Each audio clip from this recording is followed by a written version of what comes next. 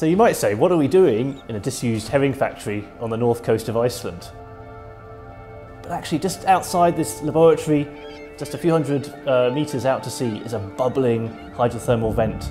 Really remarkable environment uh, where you've got this superheated seawater and all these animals clustered around it.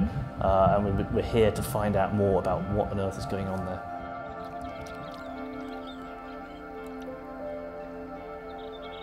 So we're a team from the Natural History Museum in London, from uh, the University of Leeds and from the University of Southampton and we're here in this amazing place, Eyjafjörður, a fjord on the north coast of Iceland to document these remarkable underwater habitats, these hydrothermal vents on the seafloor.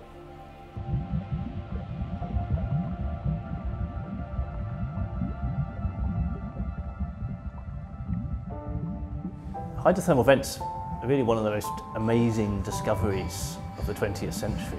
When they were found, people found these amazing novel life forms there, these giant tube worms in the deep sea.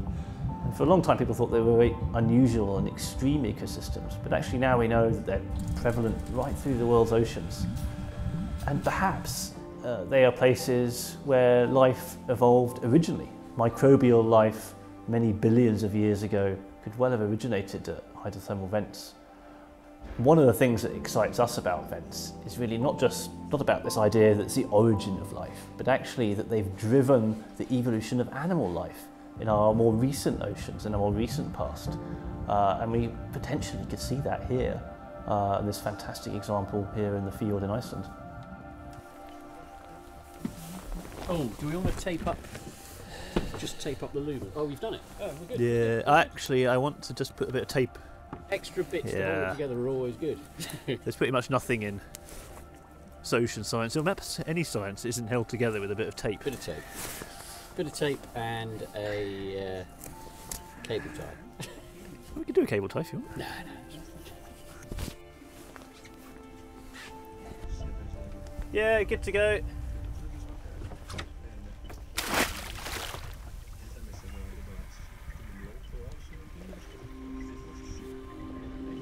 ROV is in the water and we're just having a little hunt for the vents with the sonar on the ROV. Shouldn't be too hard to find, it's quite a big chimney sticking up so the sonar should see it when we're at the right depth and pointing in broadly the right direction. What's that? Uh, depth uh, 17 metres, 1 7. We have our mini ROV Rex in the water at the moment, and we're looking for the hydrothermal vent chimney, which should be around 20 metres depth east of where we are right now. Okay, I'm at 20 metres, 20 metres. So this is the uh, event site which I'm going to be diving on to collect animals from. But this is our first Rex dive and we're going to use that as a guide for when I dive on the site a little bit later. So hopefully we'll see interesting animals that I can go and collect at a later date. I'm very excited. This is going to be the first time I get to see a vent that close. Something like. There it is. I can see it. Did you find it? Yeah, we're just coming up on the vent. Uh, It's pretty exciting. So I'm just going to come up here and have a look at the uh, marine life here. We've just gone straight into the vent chimney wall at about 25 metres. We're going to come up now to the top, have a look at that fluid uh, that's coming out on top, surveying the animals that we're going to pick up later with the scuba operation. So it's great. So piloting an ROV is obviously very different to scuba diving, but it actually is like very immersive. Like you feel you're there. Oh, you can see the shimmering water beautifully there. Look oh, at I can feel it warm in my belly. Yeah. Rex, the ROV, is fantastic because it can spend long periods underwater, doesn't get cold, doesn't complain, uh, can go really, really deep. Uh, but we need a human. We need a human to get down there and collect those samples by hand uh, and actually bring them back up to the surface. Uh, but Chris uh, can go down and fill his bag up with specimens that we can then study here in the lab.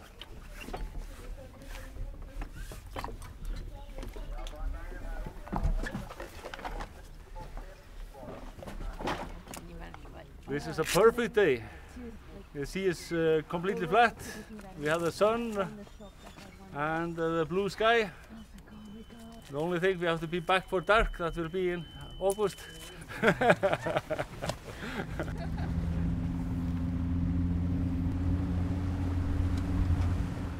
So the idea is that we're going to be collecting animals which are living close to the vent sites, but also the same animal species away from the vents as well. And the idea then is to compare them genetically to see if we can see any differences in the genes of the animals which are living close to the vent sites and then of the animals which are living further away from the vent sites and the idea is to see if there's some adaptation of those animals to living close to those hydrothermal vent sites, which is a very challenging sort of environment. And we think that animals may need to show genetic adaptations that perhaps are not something that we can see looking at the animals directly, but is something expressed in their genetics.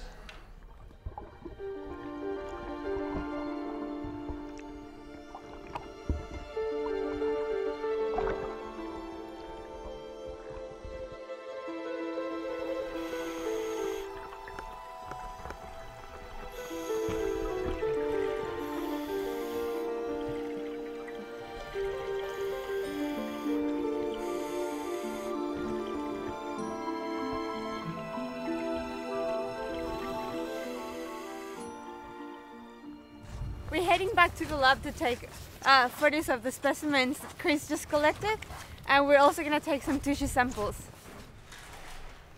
Wow! Yes. Fantastic. Excellent. Is it a big mussel? What is it? Yeah, I think it's my ear. Ah, Whoa. fantastic. And those are associated for fauna. So we can pick away at that, collect all kinds of things. Okay. Some leaves. Should we have a little look at it? Whoa. Wow. So now that we've got samples back from the diving, one of the first things that we're going to do is take a really good photograph of each specimen to document exactly what it looked like when it was alive.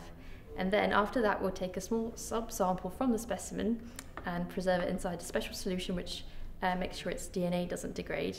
And then we'll do further DNA analyses when we're back in London. We just have to make sure we document everything, that we take nice photos of the specimens, that you can see them the way they look when they were alive, because as soon as we put them in ethanol, they're gonna go white. We brought a microscope all the way from the Natural History Museum in order to be able to look for the tiny animals that might be living around the bigger animals that we collect during the dives.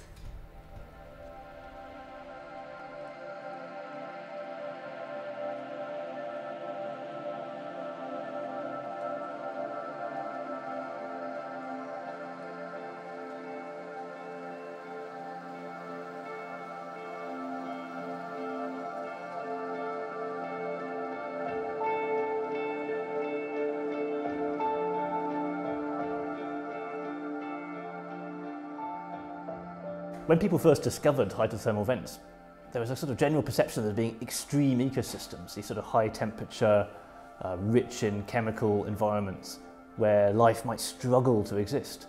But we have a sort of working joke hypothesis really that actually the opposite is true. Everyone likes a hot bath. Uh, so why not the animals of the, in the deep sea? At this time of year, the sun just doesn't go down in Iceland, which makes it fantastic for doing science. But I have no idea what the time is now. It could be midnight, it could be midday. Uh, we've been working really hard and really long hours collecting samples. Uh, so it's, it's actually a, a huge advantage. It's really wonderful. When we get the samples back to the lab, we're going to analyse their DNA, and we'd be so excited if we can see that the animals living on the hydrothermal vents are actually different genetically and different physiologically to the animals, the same species, living on the rocky walls around there. Uh, so it would be an amazing thing if we can find that, then we can really show this is an example of speciation and adaptation to a vent environment right now, uh, here uh, in Eyjafjörður on the north coast of Iceland.